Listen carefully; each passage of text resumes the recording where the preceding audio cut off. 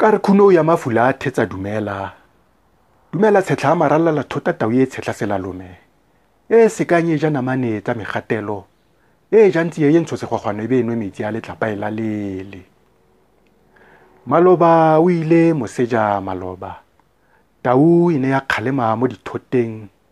Mo thoteng ya lefatshe la baditšhaba ya kgalema fa mahuba a kgaoganya dilemela tlhapi tsa lewatle maruarua tsa itaya letswalo menang ya be ya fofa mo dithoteng. Di ne di utlwa lewatle go tsibilega. A supa ka lerumo senatla se segolo lewatle la efoga la sutela morena morena a feta. Kgeleke. A tlhaga a le godimo a le godimo-dimo a le gaufi le na le dietshweu selemela kwa go fofa nonyane tse dikgolo phakwe le nonyane e tshweu mamoleyale a fokwa ke mowa se kakatlela marena. A bitsa dinonyane tse di bogale a di reye maina.